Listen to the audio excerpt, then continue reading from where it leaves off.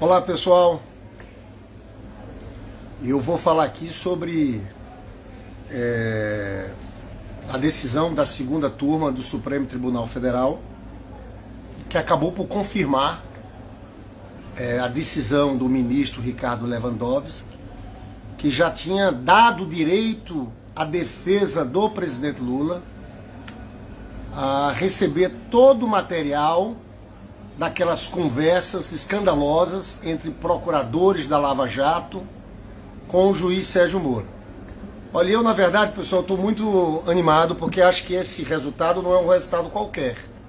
Né? Houve uma vitória, a confirmação da tese do ministro Lewandowski por 4 a 1. Por 4 a 1. Só o Faquinho, que isso aí a gente já não tinha a menor esperança, né? É, por 4 a 1 a tese de que, o, que a defesa do presidente Lula é, teria o direito de ter acesso foi vencedora. Eu chamo a atenção aqui o voto da ministra Carmen Lúcia. A gente sabe o papel que Carmen Lúcia teve naquele processo de prisão do presidente Lula, naquele processo todo. A Carmen Lúcia votou favorável. Isso mostra o grau de desmoralização dessa turma da Lava Jato. É importante dizer que esse recurso foi impetrado pelos procuradores. Eles mesmos assinaram esse recurso para a segunda turma, tentando impedir que a defesa do presidente Lula tivesse acesso àquelas conversas.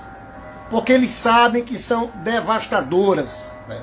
Chama a atenção também que o ministro Nunes Marques, que foi indicado pelo Bolsonaro, também votou com o ministro Lewandowski. Então foi 4 a 1 a votação na segunda turma. E eu, e eu quero dizer aqui que Gilmar Mendes, vocês podem chegar aqui para ver, Gilmar Mendes diz que vai colocar para votar a suspeição do Moro logo depois do carnaval, ainda em fevereiro. Segundo ele, é uma avalanche. Eu vou trazer aqui alguns trechos da fala do Gilmar Mendes, também da Carmen Lúcia, porque eu acho que essa virada de voto a Carmen Lúcia prova a desmoralização que esse pessoal da Lava Jato, é, a partir da divulgação dessas conversas, estão submetidos. Né? O ministro Gilmar Mendes aqui, na verdade, disse ou esses diálogos são ficcionais e merecem o prêmio Nobel de Literatura, ou é o maior escândalo judicial do mundo. No outro trecho à frente, ele fala que esses hackers de Araraquara seria o novo Gabriel Garcia Marques. Gabriel Garcia Marques, vocês sabem que tem um estilo que ficou conhecido como realismo fantástico. Ministro Gilmar Mendes, sobre os diálogos entre procuradores e Sérgio Moro. Isso envergonha os sistemas totalitários. Quero chamar a atenção do voto da ministra Carmen Lúcia. Eu não preciso dizer a vocês que a ministra Carmen Lúcia sempre aplaudiu tudo, todas as decisões da Lava Jato, colaborou com a prisão do presidente Lula. Essa virada de voto da ministra Carmen Lúcia, nesse caso aqui, é muito relevante.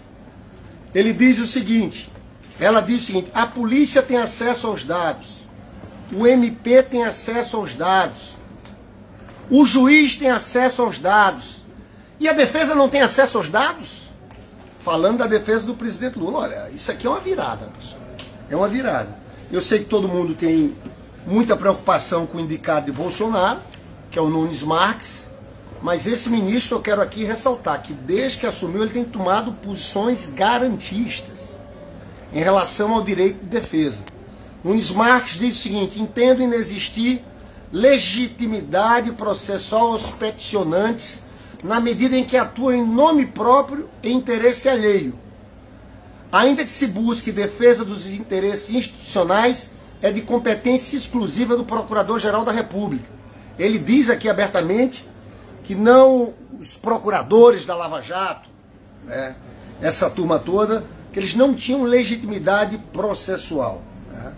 Eu acho, pessoal, eu queria comentar, eu acho que isso aqui abre caminho para que o Moro, por isso eu acho importante mostrar a vocês aqui essa fala do Gilmar Mendes, diz que parcialidade do Moro será julgada logo depois do carnaval. É uma avalanche. De fato, eu quero. O Cristiano Zanin chegou é, a afirmar sobre a relação das autoridades, dos procuradores da Lava Jato com autoridades internacionais sobre processo de leniência foram feitas de forma informal. Eu quero registrar aqui que Deltan Dallagnol disse que a prisão do Lula foi um presentinho da CIA. Olha, eu tenho uma gravação que está lá no canal à esquerda que eu fazia com Vanessa Graziotin, de mais de um ano atrás, em que eu mostro e a gente começa a relação do Departamento de Justiça norte-americano é uma relação direta com esses procuradores da Lava Jato. Né? E eu estou convencido que a história vai provar a participação norte-americana no golpe brasileiro. Foi um golpe em três etapas: o afastamento da Dilma, a prisão do Lula e a eleição do Bolsonaro. O presidente mais capacho da história do Brasil, os interesses norte-americanos, em especial do Trump naquele período. Então eu acho que a história vai mostrar isso. Eu acho que o PT tem que fazer uma campanha de divulgação disso a nível internacional também. Porque o golpe brasileiro foi completamente desmascarado. O que eu acho, pessoal, é que a partir de agora nós temos que fazer uma grande campanha nas redes. O foco nosso central é esse. Essa, esse julgamento do STF. Né? Volto a dizer, essa turma está desmoralizada para Carmen Lúcia ter votado, ter mudado de posição. É porque os diálogos são assustadores, pessoal. Ali mostra que não tinha um juiz. Não tinha um juiz imparcial, o juiz estava junto com os procuradores. Né? Atuando em cima do timing político. Eu vivi todo esse processo quando eu era senador. Eu me lembro da divulgação, eles atuaram na, na prisão do Lula e no golpe contra Dilma, no impeachment da Dilma. Eu era senador, estava no plenário do Senado Federal, quando tem uma bomba, a Globo News divulga, uma conversa que tinha sido gravada entre o presidente Lula e a presidente Dilma Rousseff, uma hora da tarde. Às seis horas, já estava na Globo News. E eles fizeram aquilo para impedir Lula de assumir o Ministério da Casa Civil. A história do Brasil podia ser outra. Então, desde lá atrás, essa Lava Jato vinha atuando em cima do timing político. A destruição que trouxeram ao Brasil é uma coisa impressionante, pessoal. Eu estou aqui no Rio de Janeiro a destruição da indústria de construção civil, porque em tudo que é lugar do mundo se preservam as empresas. Você prende quem fez corrupção. Aqui no Brasil destruíram o setor da engenharia nacional. Destruíram aqui os estaleiros do Rio de Janeiro. A economia brasileira foi destruída por essa turma que estava a serviço de um projeto da extrema direita. A gente viu a relação do Sérgio Moro com Bolsonaro. Sérgio Moro, que divulgou, inclusive, na véspera da eleição do Haddad, um trecho de uma delação que não era a delação do Palocci, contra Jacques Wagner, que era um dos coordenadores da campanha do Fernando Haddad. Pessoal, eu quero resumir para dizer o seguinte. Esse dia de hoje é muito importante. Esse dia de hoje eu acho que significa uma mudança ali no Supremo Tribunal Federal. O voto da Carme Lúcia é um voto importante e o voto Nunes Marques também é um voto importante.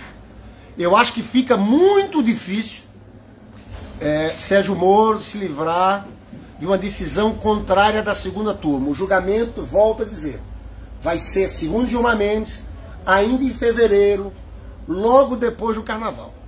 Eu só espero que o Supremo não ache nenhum caminho.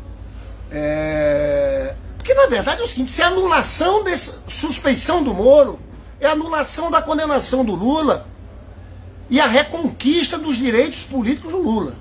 Estou falando, porque escutei, tem algumas pessoas escrevendo que o Supremo ia tentar achar uma coisa que declarasse o Moro suspeito, mas os direitos políticos do Lula não iam ser reestabelecidos. Olha, se o Supremo fizer isso, é entrar na chicana, na mesma chicana jurídica que essa Lava Jato fez. Então o Supremo não pode fazer isso. E eu creio que será muito difícil eles acharem uma saída nesse sentido. Então eu, eu encerro, quero encerrar dizendo que nós temos uma tarefa política.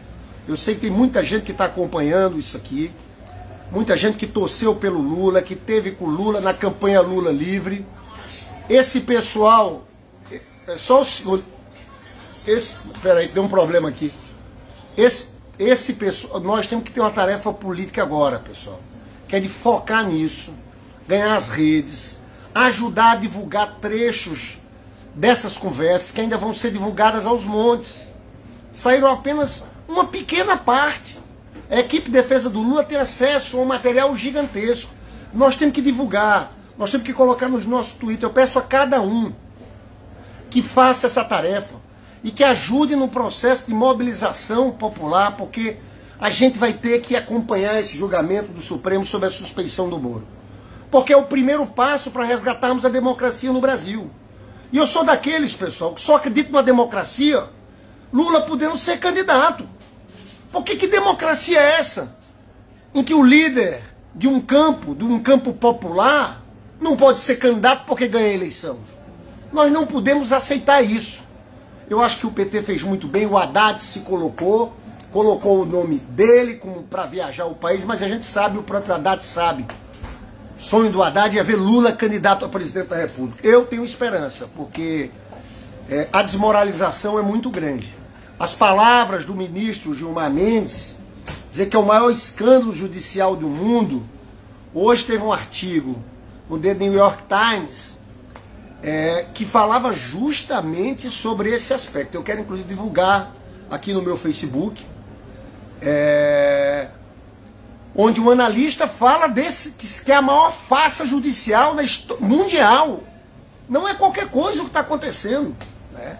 Então, pessoal, parabéns a nós, a vocês que, que, que lutaram muito pela liberdade do Lula. Nós vamos lutar, nós só vamos descansar quando desmascararmos essa farsa. Porque desmascarar essa farsa é uma peça fundamental para a gente reconquistar uma verdadeira democracia no nosso país. E é isso que a gente quer. Lula é inocente, tem direito de ser candidato a presidente da República. Espero que o Supremo faça isso. Eu tenho certeza que não tem saída para o Moro.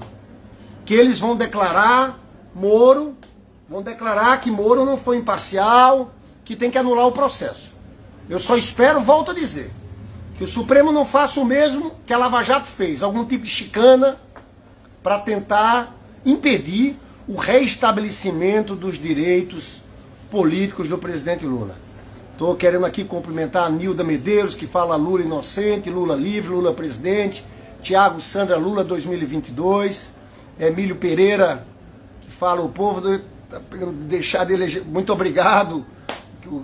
Então, pessoal, é isso. Vamos acompanhar é, Maria Tereza, Lula inocente, Laudicea ficarão desmoralizados de vez, Mauro Lúcio Lula sempre. Cecília Lula livre já.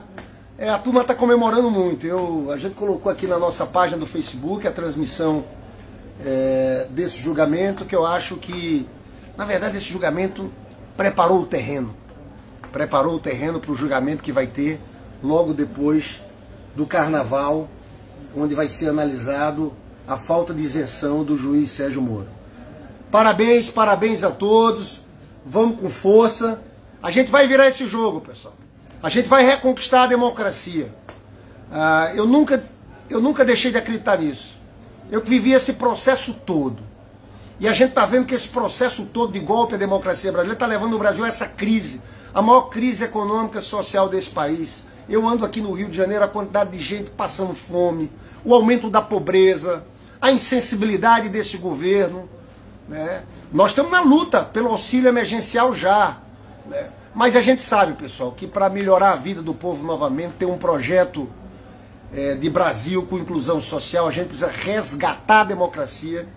E, e essa desmoralização desses façantes que merecem sim ser presos. Sérgio Moro, Deltan Dallagnol, esses procuradores merecem ser presos pelo que fizeram, pela ousadia que tiveram em destruir a democracia brasileira em passar por cima da soberania nacional, foram dirigidos pelo Departamento de Justiça norte-americano. Na verdade, que tinha um plano, não só aqui no Brasil, mas em toda a América Latina, de afastar a esquerda, um projeto popular é, do comando da maioria dos países aqui da América Latina. Vitória, pessoal. Hoje é um dia de vitória da democracia. Não é uma vitória definitiva, mas é uma vitória parcial importante que prepara passos para a gente é, mostrar que esse Moro agiu o tempo todo de forma deliberada para prender o presidente Lula. Nós temos que recuperar os direitos do presidente Lula e cada vez mais com força para as ruas para derrotar Bolsonaro. Valeu, pessoal. Muito obrigado. Vamos em frente. Esse é nosso foco agora. Nenhum foco é mais importante do que esse. Acompanhar esse julgamento no Supremo Tribunal Federal e recuperar os direitos políticos do presidente Lula.